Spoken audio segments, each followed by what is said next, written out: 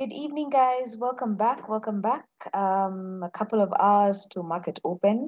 Now, what I want to do is a quick dive into, uh, deeper dive into gold. You, you all know I love to trade gold. So um, I'm just, you know, I like to look at it. I want to look at it a bit deeper. Yes, I did uh, my weekly analysis on a couple of pairs, but I just did an overview. And what I want to do with this is I just want to um, break it down as I prepare myself as well for the market, right?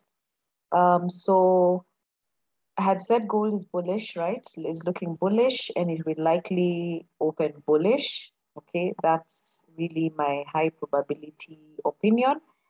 Um, but disclaimer, guys, um, anything I share on my channel does not um, amount to financial advice. Any, if you need financial advice, please seek a financial advisor. I'm just a trader.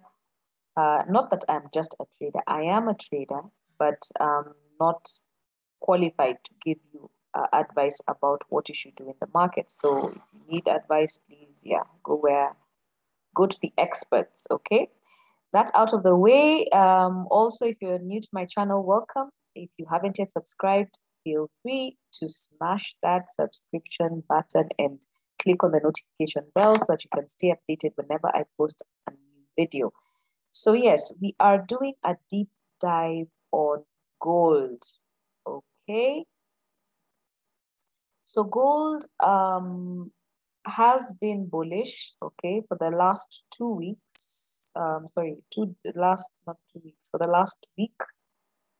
Um, we can see last week we definitely um, broke some structure at some level and we pushed up aggressively after a bit of a retrace um, earlier in the in the in the session, uh, or rather earlier in the week. Um, so right now, like I said, in my opinion, we are looking like um, we want to take out the weekly liquidity zone up here. Um, we do have interesting levels way up here um, but I'm just interested in us going past um, or targeting the 1833.29 level. Okay, so that's my initial target, which is um, possibly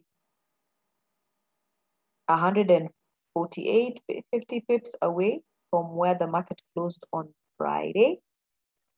Now, obviously there are many reasons why um, uh, someone would argue why gold um, pushed up. You know some people would be like um, possibly it's because the dollar index has been dropping or dropped last week.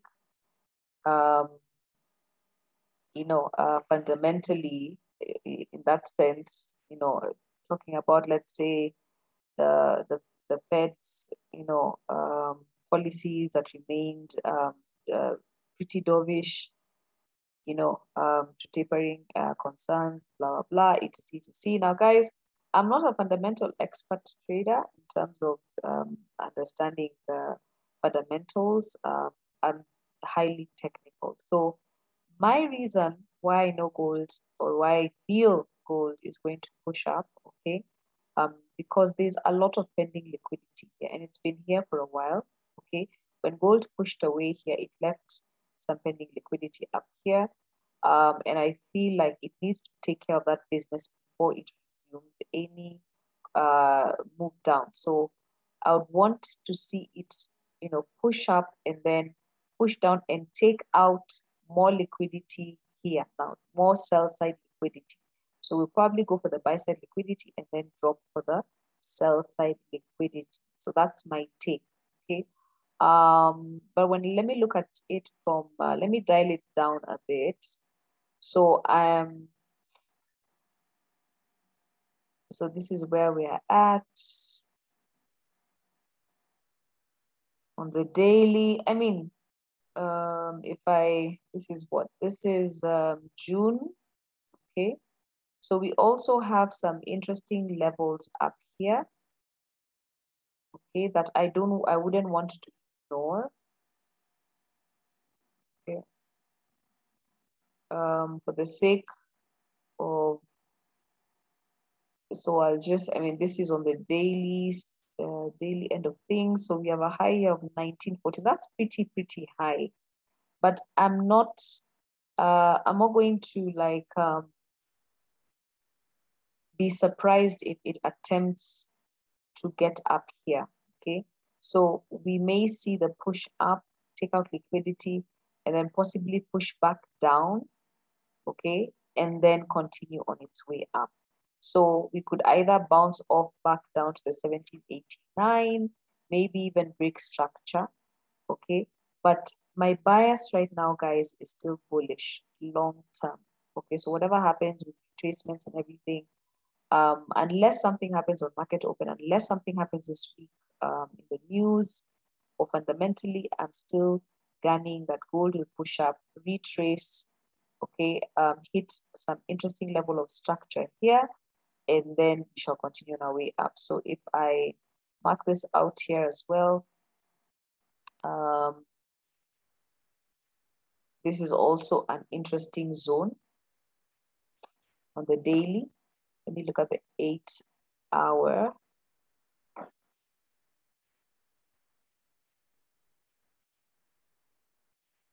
I don't want to upgrade.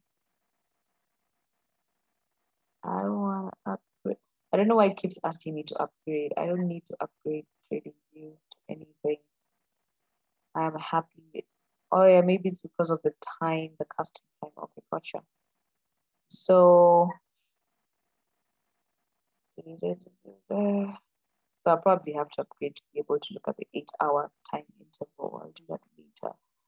So this is where we are at. So if you look at it even on, uh, you know, like gold has been in this range, okay, since June, okay, mid-June, all through gold has been in this range. And um, it might attempt to break through. That is my my take. Like honestly, even as I look at it, dialing it down, I I, I highly think that um, we will push up Okay, we will push up, take out those highs.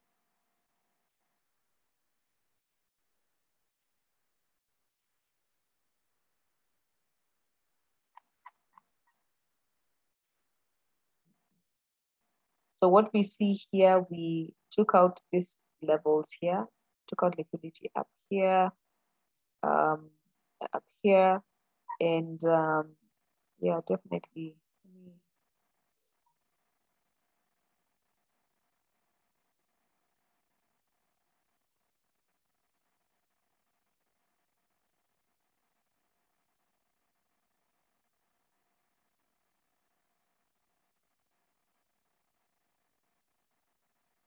So on the one hour, you know, it's interesting how it's looking.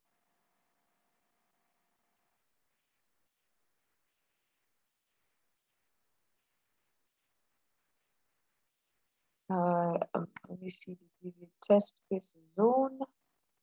Actually, when I look at it now on the lower time frame, let me see this. Uh,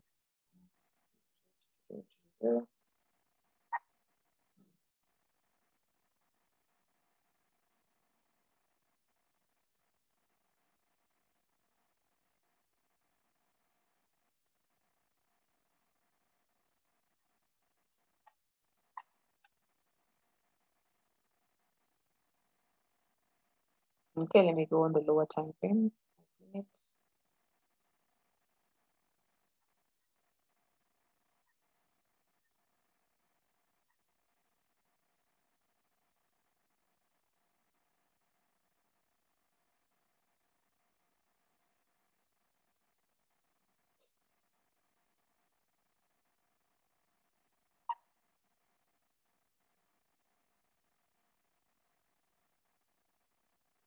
Some reason.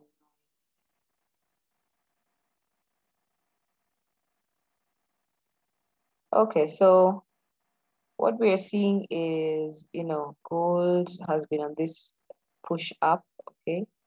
Um,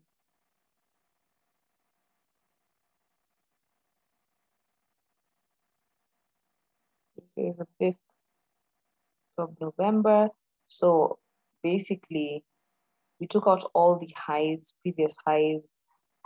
Um, and and we so we broke structure here. So we actually could, because this is on the lower time frame, we we could retrace back into this level here, you know, where where price pushed up, okay? There is potential to do that.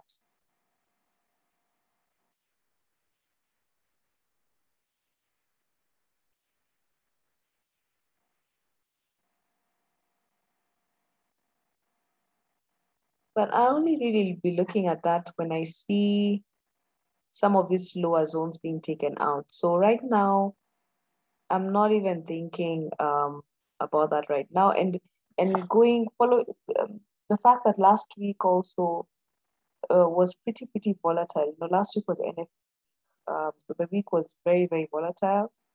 There's a lot of news, and so we as the London session opens uh, tonight, or rather to uh, Asian market opens tonight and then London thereafter, I think we may see, you know, and this is just a sign of how things are looking in the market. Like this, we can see the week closed with, with low volume um, in the market, and we might see that Monday may just end up being a low volume uh, trading morning.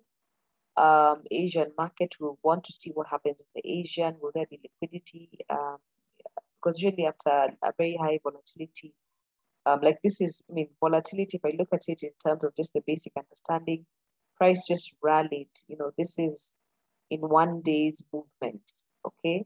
Um, gold moved um, several hundred pips, over 320 pips, okay? Over 320 pips. So we may see a bit of consolidation or um, possibly redistribution happening here um, or, uh, or reaccumulation happening here. So if we don't break out to the upside, we may see some sideways movement, okay? Um, because there was a really strong um, and consistent rally to the top. If I go on the one hour again, you can see this a bit better, okay? You see this strong rally up base rally. Um, so we may consolidate a bit before we continue to take out the uh, weekly liquidity zone. So that's really what I'm looking at. Um, and if we don't break out the upside, guys, we probably will come and try and test um, the lower levels here. And, you know, so we probably, so we either two options um, consolidate, consolidate, consolidate, consolidate, consolidate, consolidate, make us, and then possibly push up, and then push down, and then push up. Okay, so that's one option. Or alternatively, we could just, you know, consolidate and then push down before we, we, see any kind of move to the upside. So that's basically the two moves I would be looking out for. Um, if you watched my video on the five um, steps I take when I'm looking at a trade to determine whether when to enter the market, you'll be able to use that to then determine um, when to get into the market once you see some kind of um, clear structure okay happening. Especially when you see shifts in the in, in the price you know when literally you can see price has shifted. You know like for example when i say shifted i mean there was a push up um, and we can see you know we broke a, a zone a level here. We broke structure here. We pushed up and then we just didn't continue. So price shifted to the upside. Prior there was a downtrend happening here. Okay it was literally on a downtrend and then now it broke structure to shift to the upside. So when you see uh, massive shifts, shifts like that, you then be followed by some a bit of consolidation. And if not, we may continue to just take out the liquidity and then drop or drop first and then go up and grab the liquidity um, up. But remember, guys, we are bullish long term. So whatever you're going to do is you're going to be looking at um, whatever happens in between. Where will be the best place for you to get in at a discounted price? Okay, in terms of the uh, in terms of pricing, like how how low can you buy? Okay, you don't want to be buying up here. Okay, this is not necessarily the best place to want to start buying the market. Um, you'd want to be buying down here. So that's what you should be looking out for this week. Um, yes, and so I hope this uh, um, extended deeper dive into gold kind of brings in more perspective as to why I think um, um, it's bullish and what you know this this kind of price action that might happen. Why I think that as well. So guys, please put a thumbs up and see you soon, guys.